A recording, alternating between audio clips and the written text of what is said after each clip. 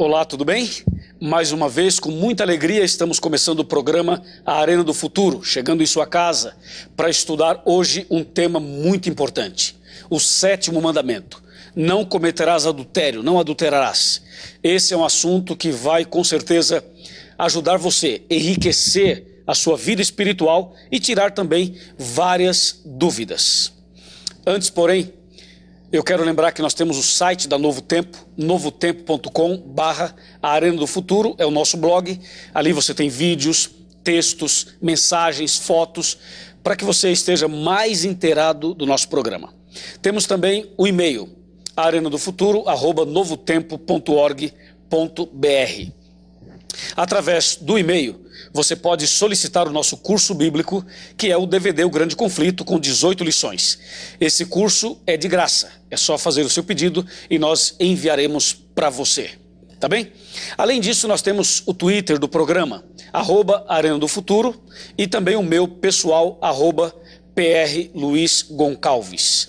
Assim, você fica sabendo de tudo e de todos os detalhes de nossas viagens, pregações por toda a América do Sul. Deixa eu guardar meu DVD aqui e vamos agora nos preparar para o estudo da palavra de Deus. Hoje vou receber dois pastores para estudar comigo, debater com você e comigo também o sétimo mandamento.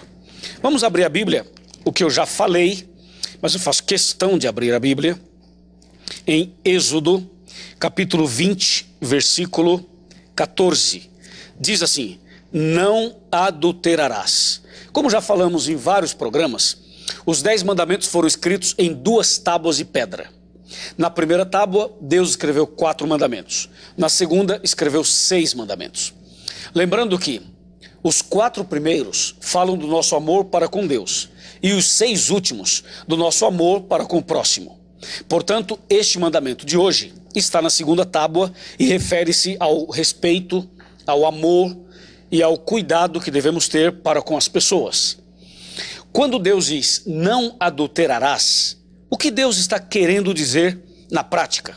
De forma clara, simples, para você entender, para nós entendermos. Essa pergunta eu farei aos dois pastores convidados. O que significa não adulterarás? Será que não adulterarás tem a ver também com, com um casal que mora junto, vive como marido e mulher, porém esse casal não é casado? Será que esse casal está em adultério ou não? Aí nós temos dois pontos: temos o ponto de vista civil e o ponto de vista bíblico, religioso. Nós vamos analisar isso com os dois pastores. E mais, é possível, através da internet, através de sites, através desse tipo de mensagens que aparecem aí pornográfica. Isso pode ser considerado também adultério? Eu vou perguntar também aos pastores sobre a internet. Queremos hoje abrir aqui a ferramenta, a caixa de ferramentas, para entender de uma vez por todas o que quer dizer esse mandamento. E mais, e aquele casal de namorados que está namorando e já estão vivendo uma vida íntima como se fosse marido e mulher. Isso também é adultério, isso é lícito, é ilícito. O que diz a Bíblia sobre isso? Não adulterarás. Uau, que mandamento, hein?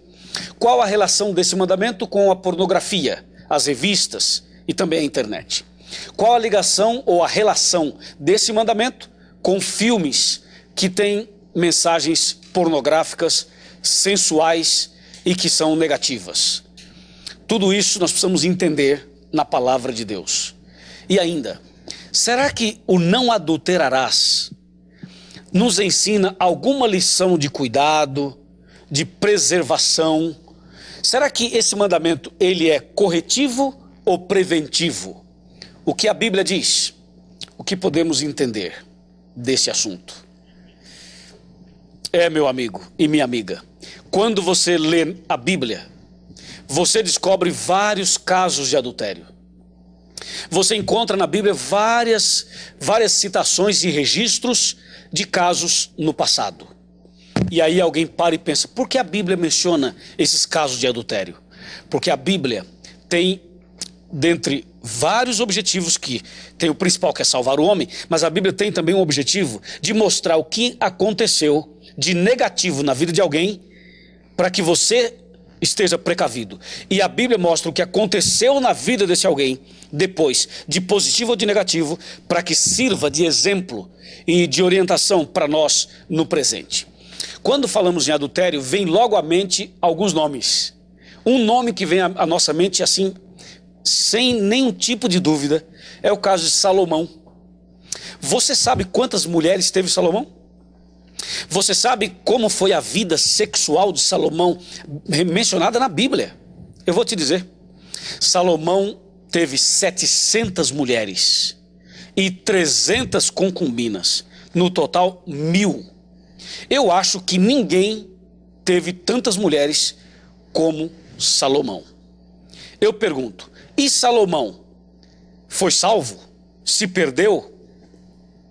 O que aconteceu com Salomão? O que Deus falou a respeito disso? Qual é a orientação divina com relação a casos como este? Há diferença de adulterar com uma pessoa ou com mil pessoas?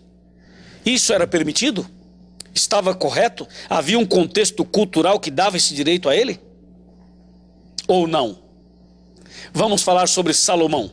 Eu quero jogar isso na arena, vou botar os dois pastores aqui na arena e vou pressionar os dois pastores. Eles terão que falar sobre Salomão. E mais, eu quero saber sobre um outro personagem da Bíblia.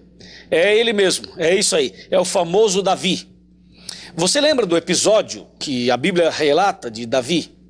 Quando ele olhou para uma mulher que estava tomando banho e então desejou aquela mulher, até que a possuiu, teve filhos com ela.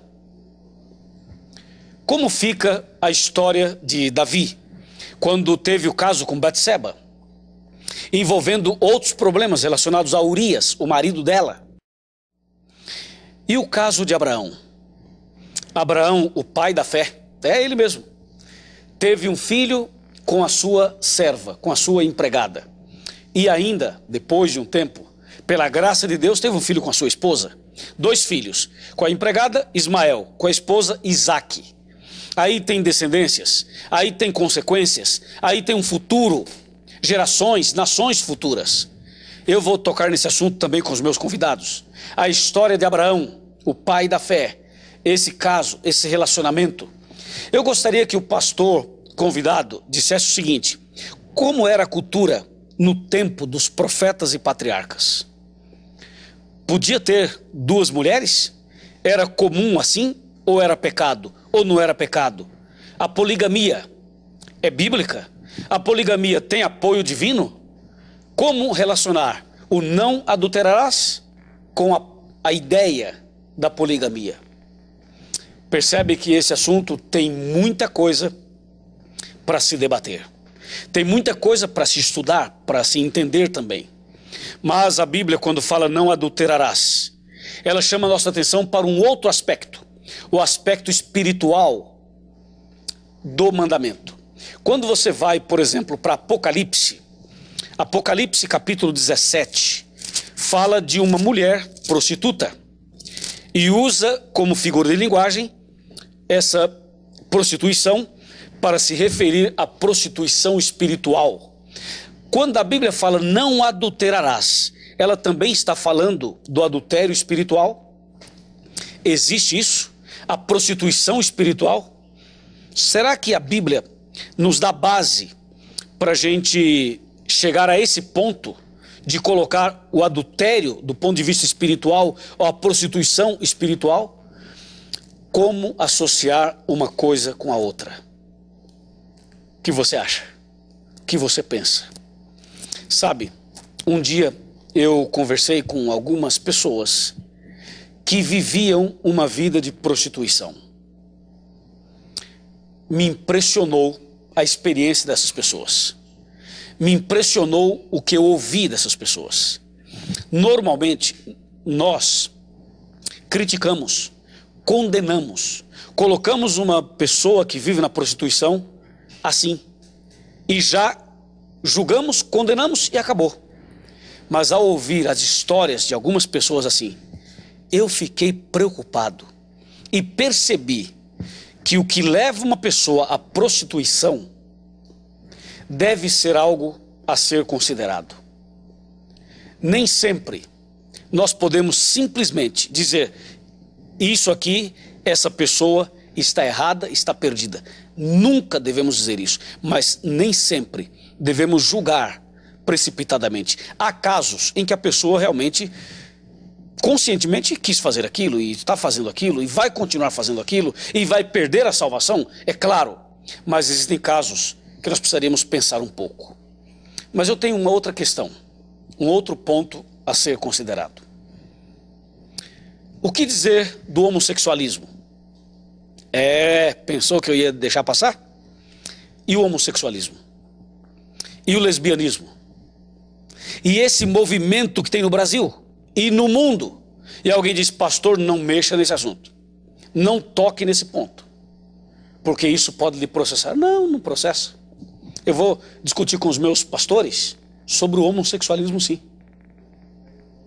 E você vai saber exatamente o que a Bíblia diz e o que nós cremos como cristãos, qual é nosso ponto de vista baseado na Bíblia sobre este assunto que é tão debatido.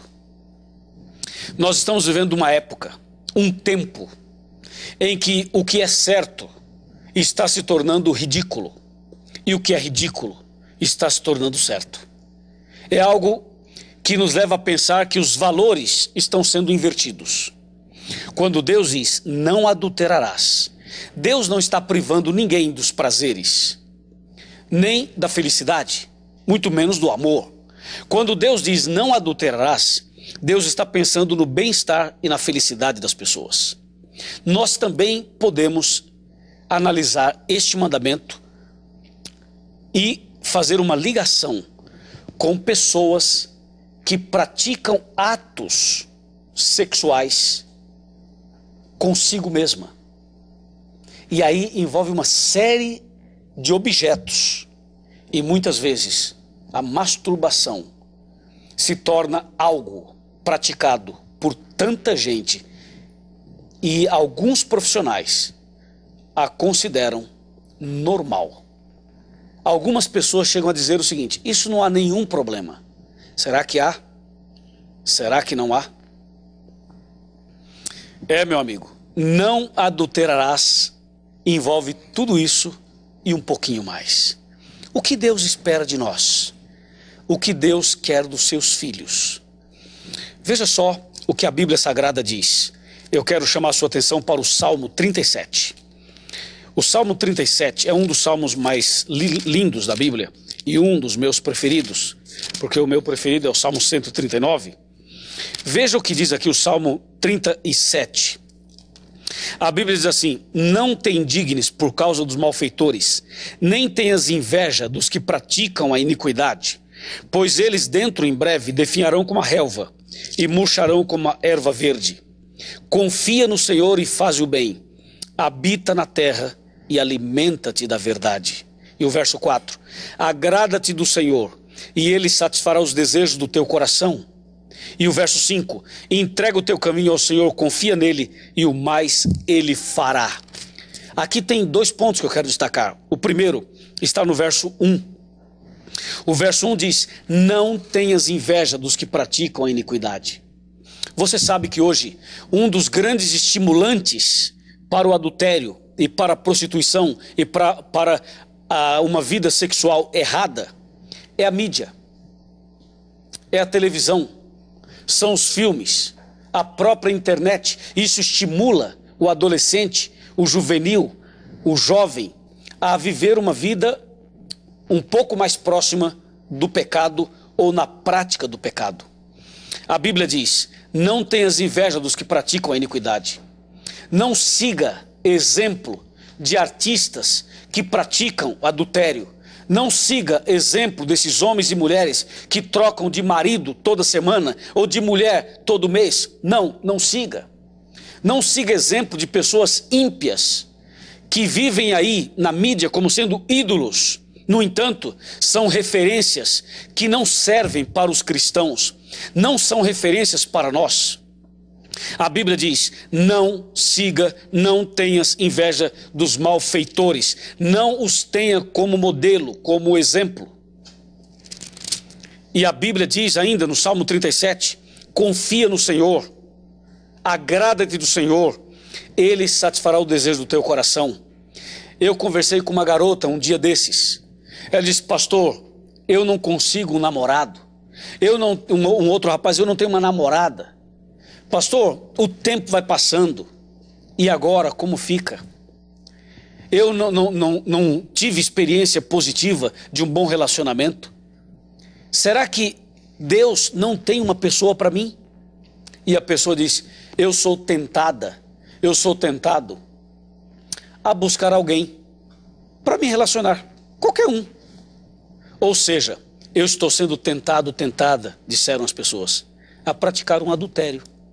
Porque não me aparece ninguém, só me aparece homem casado.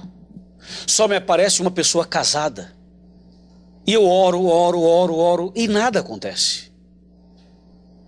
É uma questão muito séria. E nós respeitamos muito essas pessoas que estão vivendo uma luta muito grande. Mas o Salmo 37 diz: confia no Senhor, agrada-te do Senhor, Ele satisfará os desejos do seu coração. Nós vamos fazer o seguinte: uma pausa, vamos ligar para um amigo, telefonar para uma amiga, fazer contato com pessoas. Já já eu volto para debater isto com os meus convidados. Até já.